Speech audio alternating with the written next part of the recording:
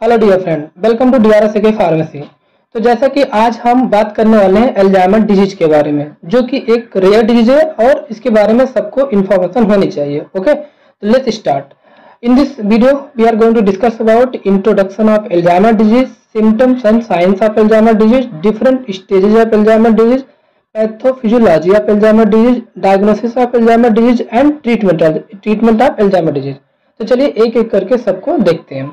तो सबसे पहले इंट्रोडक्शन एल्जाइमर डिज़ीज़ होता क्या है? Alzheimer disease is an irreversible progressive neurodegenerative brain disease मतलब एक बार होने के बाद दोबारा ये ठीक नहीं होती इरिवर्सिबल है और ये धीरे धीरे होने वाली न्यूरो डिजेनरेटिव मतलब बीमारी है। इसमें क्या होता है? न्यूरोन मतलब न्यूरॉन डिजेनरेटिव मतलब डिस्ट्रॉय होना। न्यूरॉन का धीरे धीरे क्या होता है? डिस्ट्रॉय होने लगता है, यानी स्लोली जो मेमोरी होती है, वो भी डिस्ट्रॉय जाती है। जब न्यूरॉन ही नहीं रहेंगे तो हमारी मेमोरी भी अफेक्टेड होगी। क्योंकि सारा जो थिंकिंग स्किल सब होता है हमारे न्यूरॉन ही सब रेगुलेट करते हैं ओके तो इससे क्या होगा? अगर आपका न्यूरॉन डिजनरेट हो जाएगा तो मेमोरी भी डिस्ट्रॉय होगी एंड थिंकिंग स्किल भी सब कुछ डिस्टर्ब हो जाएगी ओके तो सबसे पहले first describe by neurologist Alois Alzheimer ने इसे डिस्क्राइब किया था 1906 में।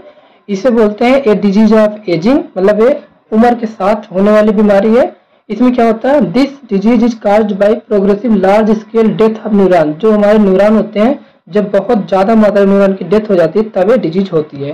वो भी ब्रेन के किस रीजन में? Particularly neocortex and hippocampus area से। Okay next Alzheimer disease most common cause of dementia की वजह से होता है। वो भी पीपल कितने एज के में 65 and older okay next scientist estimate that around 4.5 million people now have Alzheimer disease मतलब इतने percent according to W H data अभी इतने percent million people Alzheimer disease से अराउंड अफेक्टेड है। लेकिन according to estimate by 2050 13.2 million older American are expected to have Alzheimer disease if the current number hold and no preventive treatment become available मतलब अगर यही मतलब case रहा तो 2050 तक एल्जाइमर डिज़ीज़ जाते जाते 13.2 मिलियन होने वाला okay next Alzheimer disease is predicted to affect one in 85 people globally और ऐसा 2050 तक हर पचासी परसेंट पचासी लोगों में से एक परसेंट एल्जाइमर का मिलने वाला okay next this is chart Alzheimer disease progression from 2000 to 2050 इसमें आपको दिखाया गया कैसे एल्जाइमर के केसेस 2050 तक 13.2 मिलियन तक होने वाले हैं। ये आपको इस फिगर से समझ में आएगा। Okay next symptoms of Alzheimer disease first is cognitive symptoms इसमें क्या होता है? मेमोरी की लॉस हो जाती है। आप कुछ ज़्यादा चीज़ें मतलब याद नहीं कर पाएँगे, पुरानी चीज़ें भूलने लगेंगे और नई चीज़ों को लर्न करने में दिक्कत होगी। कंफ्यूजन जैसे बहुत सारे टॉपिक में आपको कंफ्यूजन होगा, आप सही तरीके से चीज़ों को क्लैरिफाई नहीं कर पाएँगे। डिसोरिएंटेशन आपको डिसीज़न लेने में दिक्कत होगी। ओके नेक्स्ट है लॉस ऑफ़ लैंग्वेज स्किल आप बहुत मतलब स्किल अपनी लैंग्वेज स्किल किसी से कम्युनिकेट करना है इन सब में दिक्कत हो जाएगी। नेक्स्ट है बिहेवियरल सिम्टम्स इसमें क्या होता है? एंजाइटी होगी एजिटेशन होगा डिप्रेशन होगा, तनाव में जाएँगे डिल्यूजन होगा, आपको भरम पैदा होगा। आप अपने आप को खुद से मतलब किसी दूसरे से कंपेयर करते रहेंगे हमेशा अलग अलग तरीके से थॉट्स आएँगे। नेक्स्ट इंसोमिया नींद भी नहीं आएगी। ये सारे बिहेवियरल सिम्टम्स हैं okay next signs of Alzheimer disease seven early signs of Alzheimer disease according to National Institute of Aging जहाँ पर एक इंस्टीट्यूट है नेशनल इंस्टीट्यूट ऑफ़ एजिंग इन्होंने seven early warning possible symptom बताया जामा डिज़ीज़ का, जो कि उनकी वेबसाइट पे भी दिया हुआ आइए देखते हैं कौन से सेवन सिम्टम्स है जिसको देख के हम आइडेंटिफाई करते हैं कि दिस पेशेंट एल्जामर से सफ़र कर रहा है। तो पहला है asking the same question over and over again अगर आप एक ही क्वेश्चन बार बार पूछ रहे हैं तो ऐसा केस देखा गया है। नेक्स्ट क्या केस है? Constantly repeating the same story आप एक ही कहानी को वर्ड फॉर वर्ड बार बार रिपीट कर रहे हैं। नेक्स्ट क्या है? फॉरगेटिंग द एक्टिविटी आप कुछ एक्टिविटी भूल जा रहे हैं। दैट वर रूटीन जो कि आपके डेली रूटीन में such as cooking playing card जैसे आपको खाना बनाना, आप खाना बनाना ही भूल गए, आप घर से बाहर निकल रहे हैं तो आप लॉक करना भूल जा रहे हैं अपने गेट का। ऐसे कुछ एक्टिविटी देखी जाती है। Next losing one's ability to manage critical activity जैसे कुछ एक्टिविटी आप मैनेज नहीं कर पाएँगे, जैसे मैनेजिंग हुआ फाइनेंस पेइंग बिल हुआ, इन सारी एक्टिविटी में आपको दिक्कत आने वाली है। Next getting lost in familiar surroundings or misplacing household object आप कुछ चीज़ें सही जगह पे रखेंगे, लेकिन आप उसे ढूंढ ही नहीं पाएँगे। मतलब जैसे चाबी आपने दरवाज़ा खोला, जहाँ रखना चाहिए था, वहाँ नहीं रखा, आप कहीं और एकदम बाद में उसको खोजने पे भी आप नहीं पाएँगे। ऐसे ऐसे केसेस आपको साइंस में दिखने मिलती है बहुत सारी जगह। Next neglecting the personal hygiene आप अपनी पर्सनल हाइजीन को भी निगलेक्ट करेंगे while insisting that they were clean ऐसे चीज़ें आने वाली हैं। Next relying on someone else to decide and respond on issue they normally handle themselves okay मतलब आप जो भी नॉर्मली चीज़ें करते हैं, उस साइड में दिक्कत आ जाएगी। ये सब सात सिम्टम्स है जिसको आप देख के आइडेंटिफाई कर सकते हैं। This is early symptoms of Alzheimer disease या signs of Alzheimer disease next stages of Alzheimer disease Alzheimer disease को हम तीन स्टेज में बांटते हैं mild stage moderate stage and severe stage okay तो व्हाट इज़ माइल्ड स्टेज में होता क्या है? In this mild stage memory loss continue memory loss होती रहती है, शुरू हो जाती है and change in other cognitive activity में चेंजेस आते हैं, आपको सोचने की स्किल वही सब सारे दिक्कत आने लगती है। नेक्स्ट मॉडरेट स्टेज में क्या होता है? एक जो डैमेज होता है, इसमें ब्रेन के कुछ एरिया डैमेज होते हैं, जिसकी वजह से हमारे लैंग्वेज में प्रॉब्लम होती है रीजनिंग जो हम न्यूमेरिकल प्रॉब्लम सॉल्व करते हैं, उस समय दिक्कत होगी सेंसरी प्रोसेसिंग में दिक्कत होगी एंड ये सारी मतलब प्रॉब्लम सबको आने वाली ओके और यहाँ से फिगर देखिए, इसमें क्या होता है? कॉर्टिकल श्रिंकेज हो जाता है स्लाइटली इनलार्ज वेंटिकल इनलार्ज हो जाते हैं श्रिंकेज ऑफ़ हिप्पोकैम्पस ये सारी केसेस देखने को मिलता है मॉडरेट स्टेज में।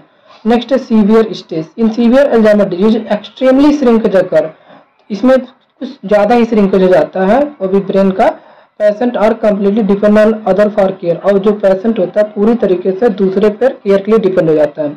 इसमें क्या होता है? सीवियर कॉर्टिकल श्रिंकेज हो जाता है सीवियर एनलार्ज वेंटिकल हो जाता है सीवियर श्रिंकेज ऑफ़ हिप्पोकैम्पस ये सारी चीज़ें हो जाती हैं। Okay next Alzheimer disease progression through the distinct stages three stages है माइल्ड मॉडरेट सीवियर इसमें सिम्टम देखते हैं। सिम्टम्स क्या है? मेमोरी लॉस माइल्ड वाले में लैंग्वेज प्रॉब्लम होती है मूड स्विंग होती है पर्सनालिटी चेंज होता है और डिमिनिश जजमेंट हो जाता है। ओके नेक्स्ट मॉडरेट वाले क्या होता है? बिहेवियल चेंज होता है। Unable to learn increase in memory loss and confusion ये सारी चीज़ें बढ़ने लगती हैं। डिल्यूजन हो जाता है। आपको भ्रम पैदा होता है। कुछ चीज़ें जो नहीं है, वो भी तो आपको लगता है कुछ चीज़ें वहाँ पे है। पैरा नहीं है जैसे आपको कोई मारने की कोशिश कर रहा हो।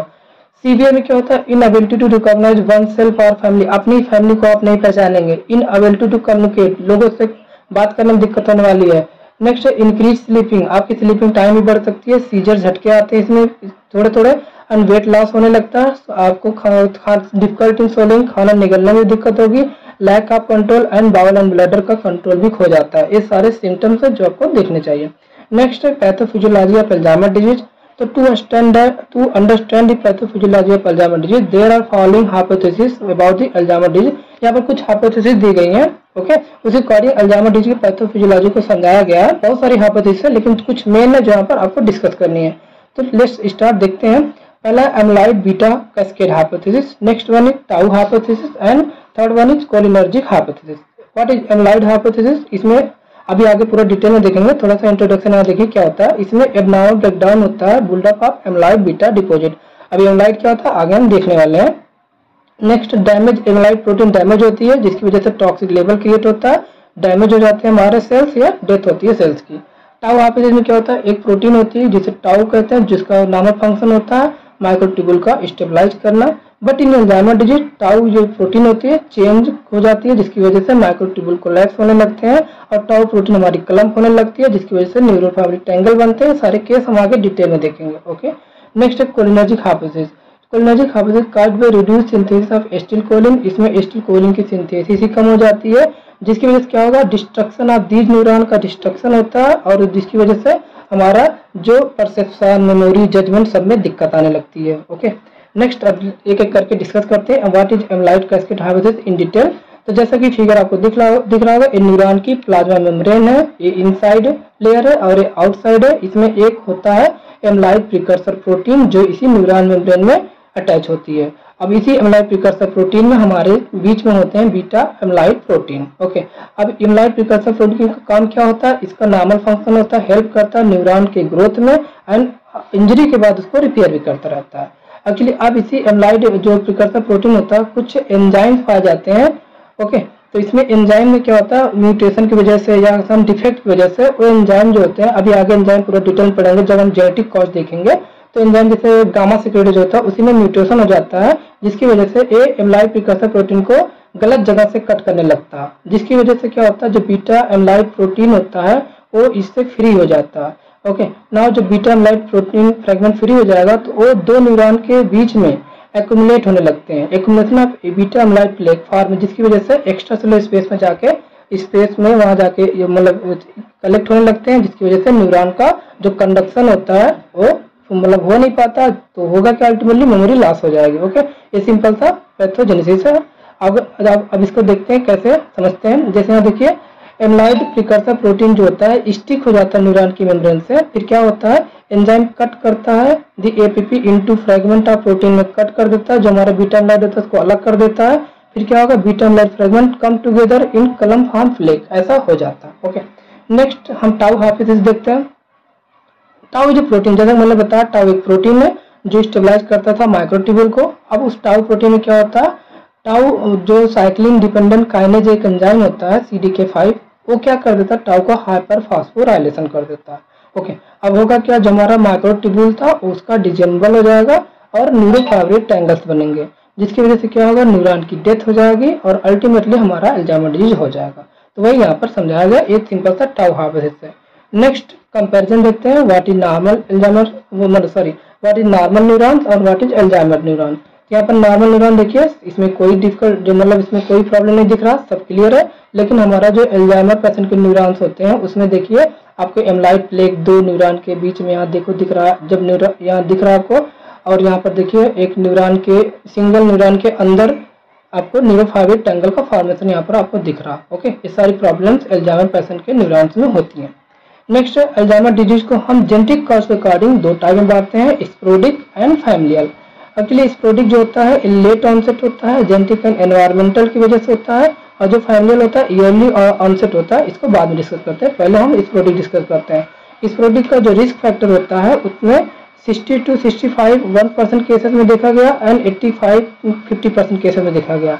जीन्स जो होता है ई फोर एलिल एपोलिपोप्रोटीन ई होता है, जिसको शॉर्ट में एपो ई ई की पावर फोर बोलते हैं ई फोर बोलते हैं। जिसका नॉर्मल फ़ंक्शन क्या होता है? हेल्प करता है break down beta amyloid okay अब होता क्या है, इसी एपो ई फोर में क्या हो जाता है म्यूटेशन हो जाता है। जिसकी वजह से क्या होगा lead to over production of beta का ज़्यादा मात्रा में बनने लगेगा एंड टाउ प्रोटीन का भी ओवर प्रोडक्शन हो जाता है। अब आपको पता है, अगर बीटा एमलाइट का ओवर प्रोडक्शन होगा टाउ का ओवर प्रोडक्शन होगा, हम पीछे पढ़ के आए एक्यूमुलेट हो जाता है न्यूरॉन के बीच में तो न्यूरॉन का कंडक्शन हो नहीं पाता, जो मैसेज जाना होता है तो अल्जामर हो जाएगा। टाउ प्रोटीन का डिफेक्ट ओवर प्रोडक्शन होगा तो हमारा हाइपर फास्फोराइलेशन कर देता था माइक्रोट्यूबल का डिजम्बल कर देता था न्यूरोफाइलिक ट्रैंगल बनाता था, जिसकी वजह से अल्जाइमर डिज़ीज़ होना ही था।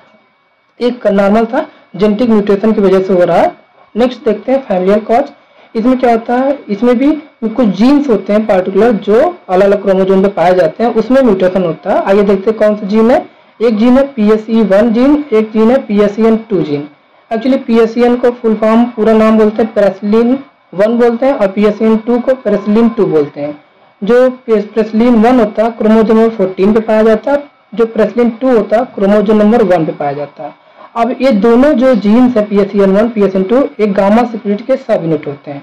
अब एक्चुअली इसी इसी पूरे में क्या हो जाता है? म्यूटेशन हो जाता है। जब म्यूटेशन होगा तो जो नॉर्मल फ़ंक्शन होता है, इन एंजाइम का, वो अपना नॉर्मल फ़ंक्शन कर नहीं पाते हैं। तो जो एमलाई प्रिकर्सर प्रोटीन मेम्ब्रेन होती है, अब मैंने पीछे डिस्कस पूरा कर दिया था, और उसमें क्या होता है? एक गलत जगह से कटिंग करने लगते हैं। तो क्या होगा? जो हमारा बीटा एमलाइड पेप्टाइड होता है, वो फ्री हो जाएगा।